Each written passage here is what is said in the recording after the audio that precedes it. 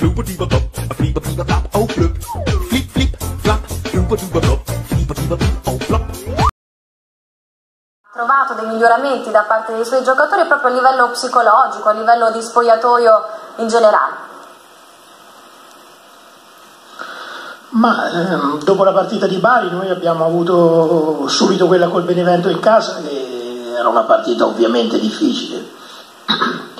però è stata interpretata bene, la squadra ha messo in campo quello non che chiedo io, quello che chiede qualsiasi allenatore, quindi massima attenzione, massima determinazione e quindi è venuta fuori una vittoria a mio giudizio importantissima. in questo finale di campionato non c'è solo eh, follia, nel senso follia nervosa. Eh, che... Ne voglio parlare più perché sono stato molto molto chiaro,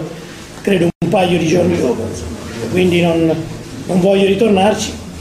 però se tu sei stato giustamente attento a quello che è successo l'anno scorso, dovresti essere altrettanto attento che questa è stata l'unica sconfitta, se no qui ho avuto sempre la fortuna di vincere.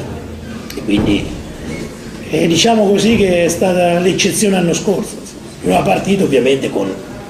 aspettative completamente diverse, però gustiamoci questa per quello che ci riguarda.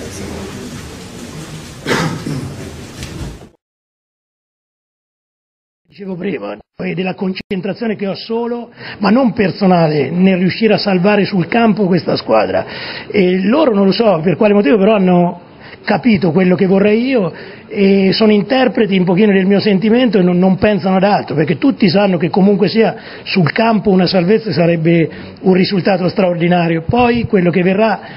lo valuteremo, però credo che quello che verrà non riguardi in questo momento solo il Lecce, ma sarebbe un terremoto generale, quindi aspettiamo il 13 maggio, però fino al 13 maggio voglio stare veramente in campo e godermi questo Lecce e le prestazioni di questa squadra. Ok, grazie, bocca al lupo, buon rientro, buona serata e Petkovic che però ha recuperato. Sì, beh, le tre partite in una settimana lasciano inevitabilmente il segno, quindi ci sono giocatori che eh, per piccoli infortuni recupererebbero in una settimana, altri che invece eh, non ce la fanno, insomma, quindi questo vale per noi ma credo per quasi tutte le squadre, quindi la scelta è stata quella di portare Scozzarella in panchina perché il suo era un problemino un pochino più rischioso rispetto agli altri Pettovic eh, aveva solo un'infiammazione e quindi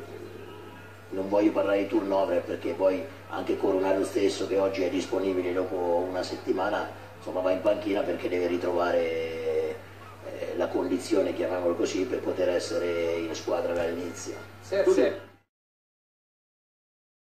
Perché parlavo prima con lo staff, io ho detto ragazzi siamo arrivati da sei giorni,